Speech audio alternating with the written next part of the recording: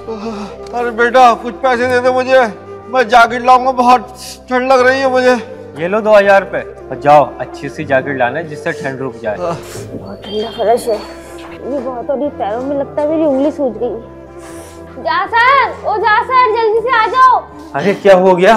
मेरी उंगली सूज गई पैर की उंगली सूज गई? हाँ ठंड में। तो मैं क्या करूँ उंगली सूज गई? दवाई दिला लो। दवाई क्या फ्री में आती है? पैसे लगते हैं पैसे। पैसे क्या मुझसे बढ़कर है। हाँ तुमसे बढ़कर नहीं है पैसे, लेकिन उस दिन जब मैंने तुमसे बोला था, ठंड बहुत हो रही है, हाथ तापने के लिए गैस सिलेंडर में गैस पड़वा लो, तब क्या बोली तुम?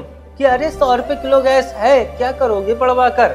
आज देख लिया नतीजा, जब देखो हर वक्त कंजूसी करती रहती हो। तुम्हें डॉक्टर की ज़रूरत नहीं है, तुम्हें सिकाई की ज़रूरत है। पहले गर्म पानी से अपने पैर की सिकाई करो, और जब तक मैं गैस सिलेंडर में गैस पड़वा कर लाता हूँ, फिर उससे तापना।